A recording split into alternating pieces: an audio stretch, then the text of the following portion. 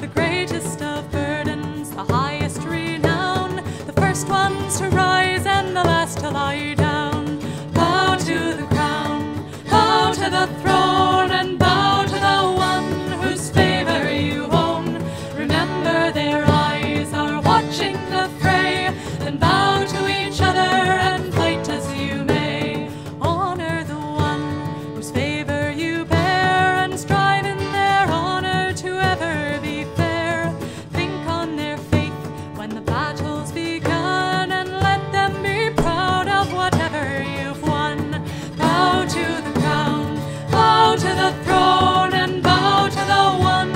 whose favor you own.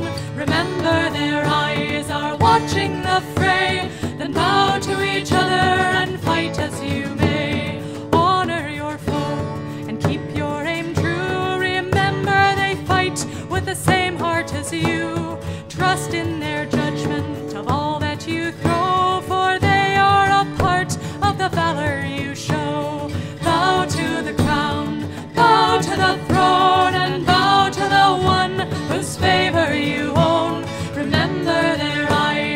watching the fray, then bow.